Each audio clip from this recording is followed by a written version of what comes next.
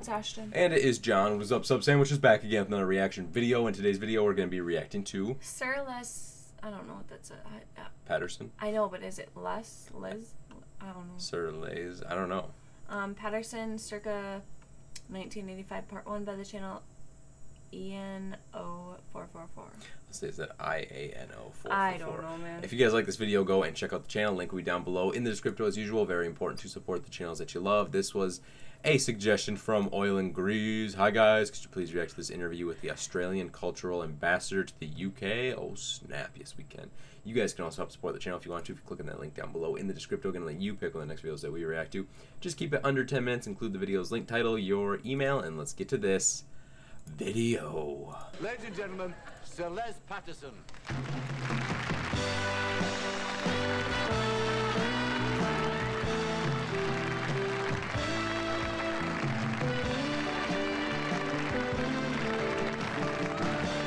He's the ambassador to the UK. Seems like a pretty cool dude. He's so fucking goofy looking. Les, How are you, Jackie? Don't worry, how are you, brother?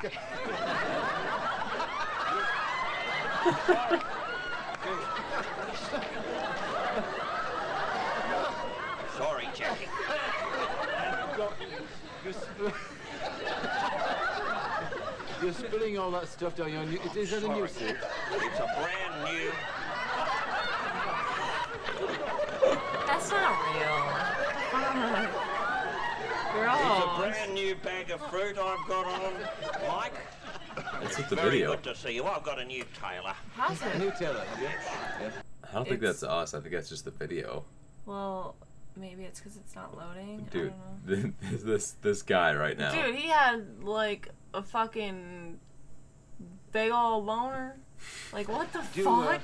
Go to the same tailor all the time? Well, I have a little bloke up there in Kowloon, which is a suburb of Hong Kong, and I get about half a dozen a, a time.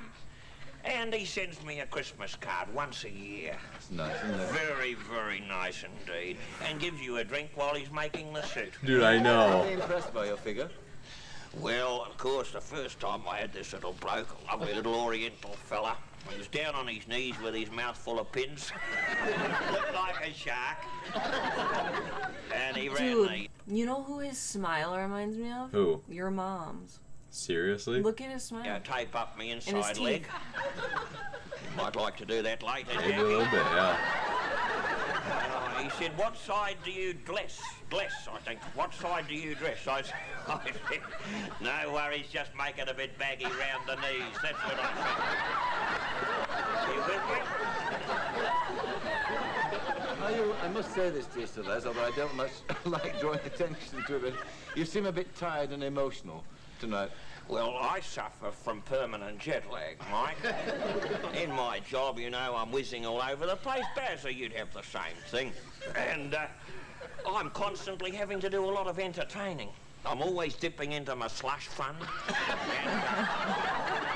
I have to entertain heads of state, you know, representing in so many fields, you know, the interests of my country, Australia, to which I drink this loyal toast. I'm not tired, though. I'm very fresh, as a matter of fact. I've just been on stage in Baz's show. I'm not a welcome person there at all. He asked me to be in the show. And then he, you know, looks at me, you know, down his nose. What brings you back to Australia, Sir Les? My roots. Your roots. I come back. Some people go overseas for their roots. Bangkok, you know, up there in the Bali, all over the place. I come home for that. I do. I'm a very loyal Australian, and uh, I've got a family. A lovely family, and uh, they keep a pretty low profile. Lady Patterson, Lady Gwyneth, of course. Lady Gwen, yes, she. yes. Uh, How is she? Oh, she's a. No, I haven't heard from her lately. oh, she's a marvellous person. You know, she's tremendously loyal and, uh, oh, a former model.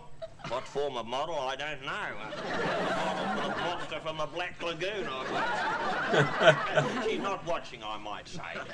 She gets the news, I mean, she gets the newspapers, but they're always censored, like the newspapers in Prisoner, you know? Yes. They're like a doily when she gets them.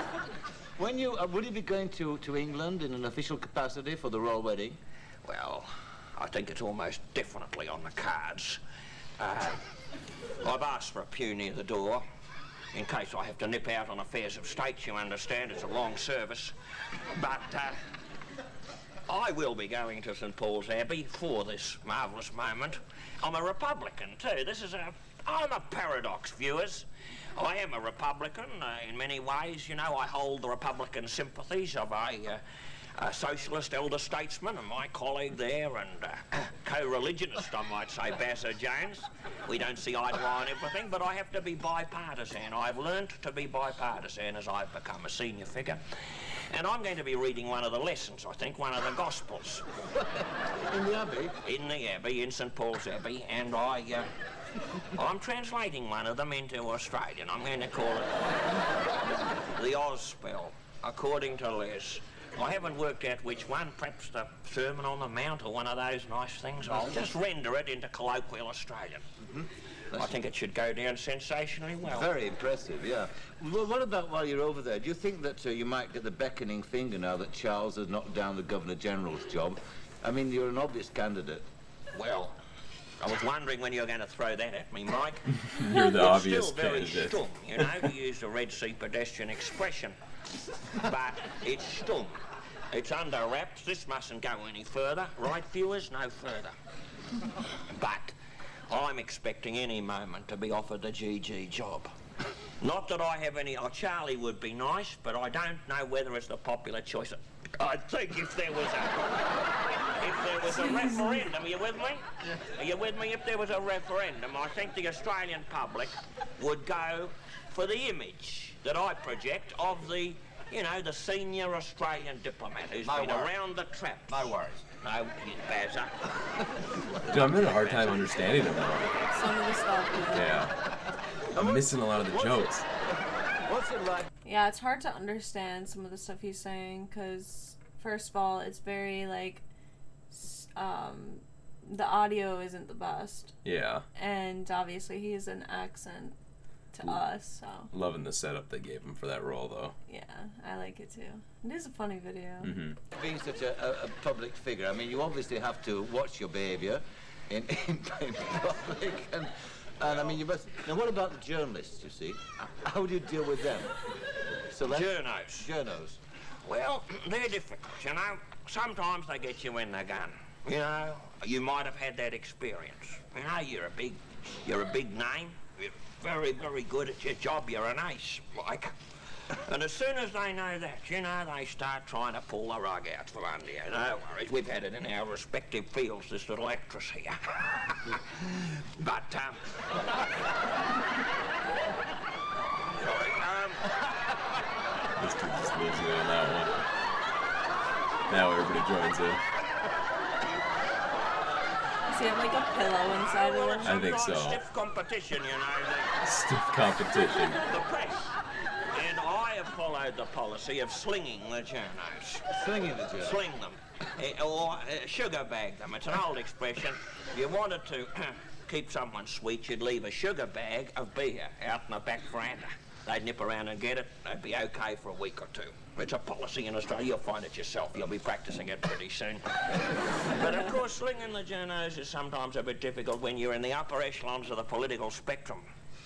You with me? Um, and I found, as a consultative person in the arts, in the capacity of directing where the art subsidies go, which has been a big job of mine, I call, call upon, they say, look, Les, they say to me, pull yourself together, will you? I'm not here to be sniggered at.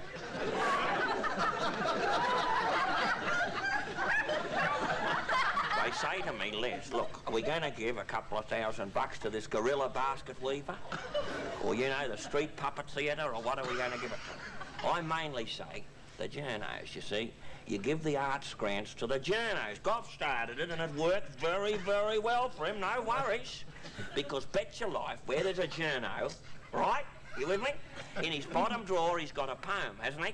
Or a play, or a scenario. He's got one of these things, the bottom drawer. Sling him an arts grant, you see. He'll be sweet for good. He'll be sweet for good. He'll vote for you. He'll put it in the paper. It's the new way, you know. It's the new form of sugar bagging. No. Sugar. So that's, that's, uh, that's uh, Learning stuff every day. for the moment. Uh, no, we- we're not finished. We're going to come back after this break, but we have to Break for refreshments. break. For, I'll be in that, viewers. we'll be back in just a moment. See you in a moment. Stay with us. Stay with us. Okay, so hold up. That was really good, but yeah, some of it I couldn't understand. Yeah, I lost a lot of it because the audio of it. Um, the Australian cultural ambassador to the UK, so kind of like a UK's way of making fun of Australia through like a goo- well goofy personality of a guy who's like sunburnt and apparently has a huge dick. He wasn't sunburnt, or was he? That red stuff on his face. Yeah, oh, I really- thought it was bruised all over. Is that what it was supposed to be? I'm pretty sure that's sunburn. I don't. It looked like bruises. That was awesome. He just comes in smoking and drinking. I mean, it could be, but it looks like he's got big bruises on. I don't know. I think it's supposed to be sunburn. There's no way, really. looks like he got beat the fuck up. does. It doesn't look like he has sunburn. He's well, so it does. creepy looking. It looks like he has sunburn, but on top of that, like he fell down the stairs or something. This is like something on my worst nightmares right here. See, it looks like he's he is all bruised. I think it looks like sunburn, like severe. I guess it kind of looks The like, pixelation, it's yeah, hard to but tell. but it's bloody though. Like there's like, you know, Like like, it dried out so much that it cracked open. That's what I was interpreting from that. Guys, we know audio is a little hard to understand. The audio was pretty hard for us too. Um, go check out the channel that is IANO444 if you guys like that video. It's important to support the channels that you love. Kind of seems like the UK taking some shots at Australia. did you just say por favor? Por favor? No, I don't think so. Anyway, guys. like you did. Catch you in the next video. Peace.